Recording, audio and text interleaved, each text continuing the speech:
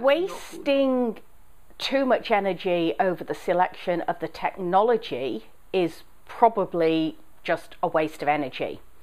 The reason these projects fail is not because an organisation chose technology 1 over technology B, technology A over technology B.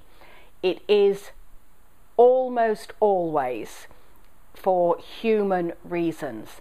And those human reasons will boil down to one of three. Firstly, they don't scope.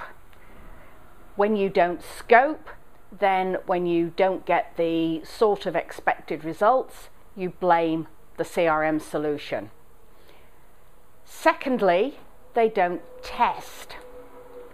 When you don't test against the scope that was done, you will hit a whole range of problems and everything will get blamed on the CRM solution. Mm-hmm. Thirdly, and most importantly, they don't train users. And when you don't train your users, you can have an absolute goldmine of a system and people just walk straight past it and either skate the surface of it or worse still, because they don't know how to use it and the potential that it gives them, they carry on in their old ways.